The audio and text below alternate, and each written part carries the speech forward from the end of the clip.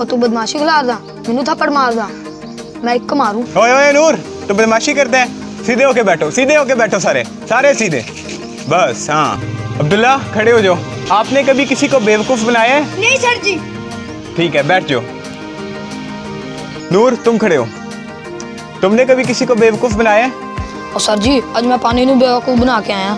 ਉਹ ਕਿਦਾਂ? ਨਹਾਉਣ ਵਾਸਤੇ ਠੰਡਾ ਕੀਤਾ ਸੀ ਤੇ ਗਰਮ ਨਾ ਨਹਾ ਕੇ ਆ ਗਿਆ।